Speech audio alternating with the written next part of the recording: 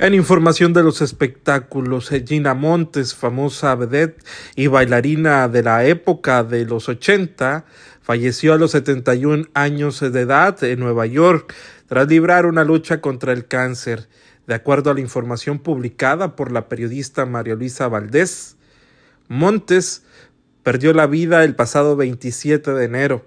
Sin embargo, la noticia fue dada a conocer apenas esta tarde Gina Montes saltó a la fama tras participar en el programa de comedia La Carabina de Ambrosio, donde compartió créditos con grandes figuras del espectáculo como Javier López Chabelo, Benito Castro, César Costa y Beto el boticario, solo por mencionar algunos. La información continúa en desarrollo y estaremos al pendiente de lo que surja en los próximos minutos. Por lo pronto, les comento Gina Montes ha perdido la vida a los 71 años de edad, esto en la ciudad de Nueva York.